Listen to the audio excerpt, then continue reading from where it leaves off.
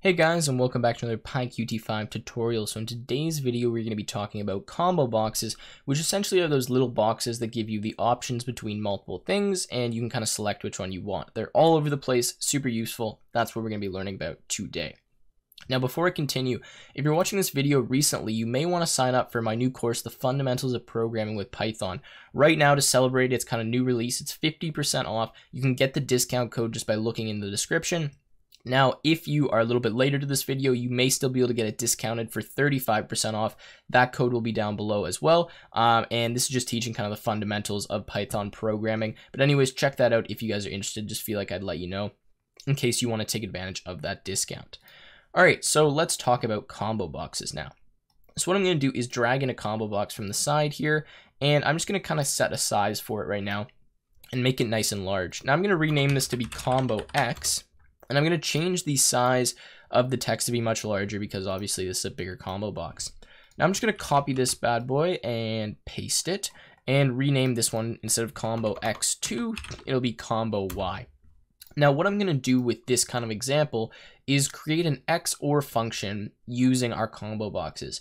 Now an XOR function is really basic, you've probably heard of it. Uh, this is the truth table for XOR, so essentially you have two inputs which are going to be represented by our combo boxes there. You can either choose between 0 or 1, so a binary input, and then you get one binary output. Now you can see here if both of the inputs are 0, you get 0. If y is 1, you get 1. If x is 1, you get 1. Um, and if x and y and both are both 1, you get 0. So it stands for exclusive OR. Pretty straightforward. I'm sure most of you probably heard of that.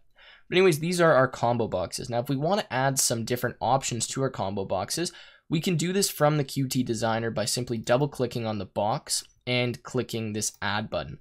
Now our items are going to be what we can select from. So in this case, I'm just going to put zero and I'm going to put one. Now, if I do that and I go okay, you can see that zero shows up in the box here. So I'm going to go ahead and do the same thing here and go zero and one. Now, if we wanted to change which one was by default uh, selected, we can do that by simply moving the one up here above the zero just by hitting that up arrow key.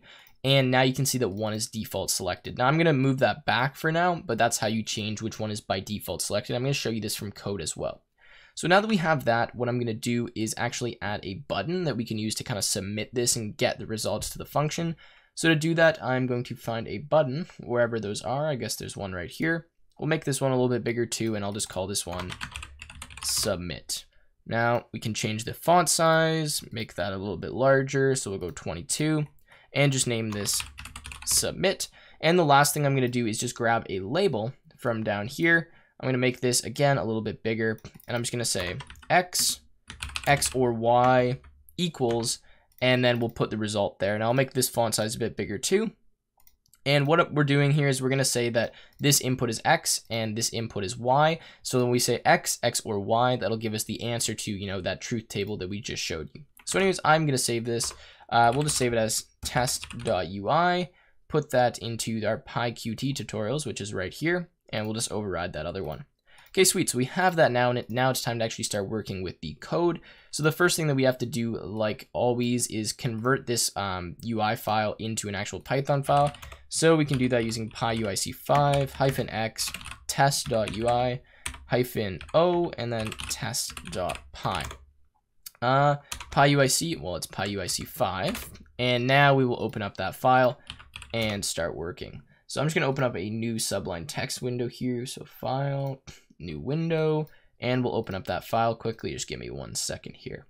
PyQt test. There we go. All right, so if we run this, we can see this is what our kind of thing is right now.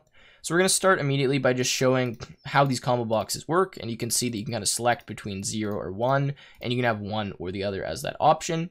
So now what we're going to do is find out how we can get which one is selected and then obviously change the label when they hit submit to be, you know, the correct thing.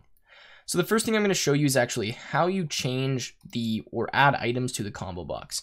Now this is important because sometimes you want to change what's in the combo box from code. So I'm going to show you how to do that quickly.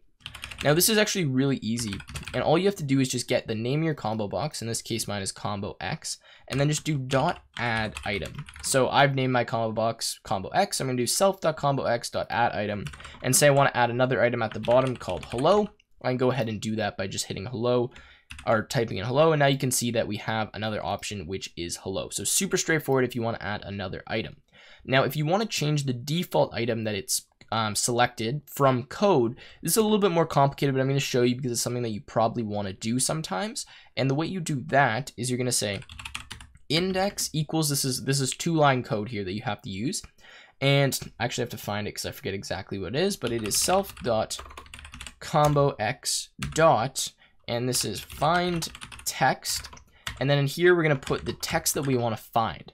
Now, this will be whatever is showing up in our combo box. Now, if you put something here that doesn't actually, that's not an item in your combo box, so like one, zero, hello, those are all items in our combo box. But say I put something that's not there, maybe negative five or negative one, this is going to return to you, I believe, negative one, which means that that item was not found in the combo box. Anyways, let's look for zero right now, or actually, Let's change it to hello. And what I'm going to do after this is put a comma and type this kind of ridiculous line, but this is what we need to do. So qt core dot qt dot match fixed string like that. Now what this is actually going to do here is return to us the index that that item is in our combo box. And the way that we select what item we want to use in our combo box is we say set default item or whatever it is here and we give it an index. And that index could be 0, 1, 2, whatever it is, where 0 is the first item in our combo box and 2 would be the last one in our case. So what I'm going to do here is just say self dot combo x dot set, I believe it is current index. And then here we're going to put index. Now the reason I'm doing this in two lines is because sometimes you have a lot of items in your combo box and you don't want to have to count like which one it is, or maybe it's going to change position somehow. So we're just going to search for the text in our combo box. We're going to find what index that's at, so some number value, and then we're going to set that index to be the current index of our combo box. So watch now, when I run this, the default item is hello. Now I'll show you if I want to change the default item to be 1, what I can actually do here is put 1, not because that's the value of the item, because that's the index of our item. And I'll, I'll explain this in a second. But you can see that 0 is actually going to be index 0 because it's the first item, 1 is going to be index 1, and hello is going to be index 2. So now again, if I change this to be 2, and I mean, I'll close these first, and I run this again, you can see that we have hello showing up as well as our current index. Um, so anyways, I'm going to get rid of that because we don't need that, but I just wanted to show you how to do that. Now, the next thing I'm going to do is create a method here that's going to actually change the label and find out what our combo box value is. So I'm just going to call this pressed, and we'll take self here. And then inside of here, I'm going to show how we can figure out what item our combo box is on. So to do that is pretty straightforward as well. We can do self dot combo x maybe the one we want to look at dot current text. And this will just give us what the current text of our item is or our combo box. So I'll do the same thing for combo Y, and all I'll do here is when we click that button, I'll just print it out, and then we'll talk about that XOR thing in a second. So I'm just going to link my button now to that method. We've done this so many times. We'll say self dot, in this case, submit dot clicked dot connect self dot pressed. All right, so let's give this a try here. Let's run this. And you can see we now get 0, 0 printing out when I click that because we printed the current text of our combo box. I can do 1, we can get 1, 0, right? Pretty straightforward. So now let's change that label so that it's equal to the actual answer to that XOR function. All right, so the first thing we need to do is evaluate our XOR function. Now I'm going to show you kind of a cool way to do this. The first thing we're going to do is actually stop by printing this and set these equal to their int values. Now this is because they by default come in as string to us, uh, but I want them as an integer so that I can actually use um, the OR and ANDs in Python to evaluate the XOR function. So XOR, which I'm just going to say is this, is actually equal to um, X or not Y and not x or y. Or sorry, not x and y. What am I saying? Not or. We need to change these ors to and. Now I'm going to put brackets around these to make sure everything is nice and clear. And I'm going to explain kind of how this works. But essentially the only time that this function is going to be 1 is when um, is when one of them is on and one of them is off. Or 1 is 1 and 1 is 0. So the way this works, we say if x and not y, or right here, not x and y. So that's going to give us the result of our XOR. So now if I want to change my label text to show that, what I'm going to say is self.label.set text. And in here, I'm actually going to set it equal to the current label text. So label dot text plus, in this case, we'll do space, and then I'm going to do the string of XOR, which will either be a 0 or a 1. Now let's just try this and see if it works first of all. So we'll submit that and you can see 0 and 0 gives us 0. 1 and 0 actually gives us 0 true. Oh, it's to keep going forward anyways. Uh, and 1, 1 will give us true. And then if I go 0, it, it's not showing because it's cutting off. So what I should probably do is set this equal to actually, rather than the current label text, we'll just do x, x or y equals like that.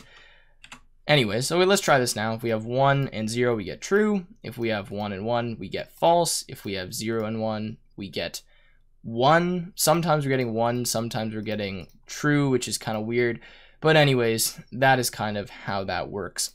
Now this is just weird because it's returning true or false. If we wanted to just get a 1 or a 0, all we could say is if XOR equals equals true, then we'll say XOR equals 1, else XOR equals 0. And now if we run this and we do 1, 0, we get 1. If we do 1, 1, we get 0. We do 0, 1, we get 1. And you kind of see how that works. Anyways, I just want to put, get, put together a little example for you guys so I didn't just show you kind of the basics of the combo box. In the next video, we'll probably move on to doing check boxes or radio boxes or something else. And then as we progress through the series, we'll get into some more advanced examples as well as some layouts and some other stuff because there's so much to talk about with PyQt5. Anyways, I hope you guys enjoyed the video. If you do, make sure you leave a like, and I will see you guys in another video.